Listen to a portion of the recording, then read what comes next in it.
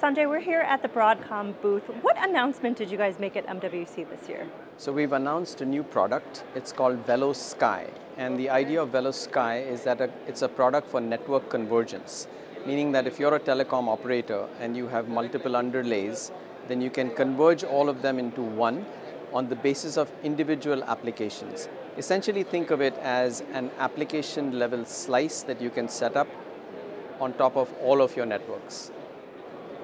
Okay, and what does this announcement mean for the future of modern operations? So this announcement is really important because prior to this, it was network slicing that people would talk about. But network slicing is not what the enterprise is interested in. They are inter interested in application level performance, application level QoS and slicing. As an example, I have here a pair of Meta Ray-Ban glasses. When I put them on, they send video in the upstream direction and audio in the downstream direction. Now, certain enterprises will use glasses like this to prioritize applications and the network has to respond. Now this pair of glasses, there's a lot more traffic going upstream than downstream. If one can recognize it in the network, then you can charge more for applications that will support this kind of traffic that is coming from these glasses. Great, and so what's the significance of this announcement more broadly speaking?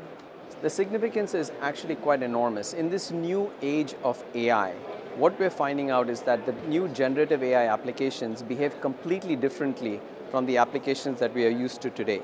So the sig significance of VeloSky is that we recognize the generative AI application and we allow the telco to set up new services that they can monetize because of the recognition of the application, the prioritization of the application and securing the application, everything from a pair of glasses like this all the way into the large language model that is addressing the other endpoint of this glasses.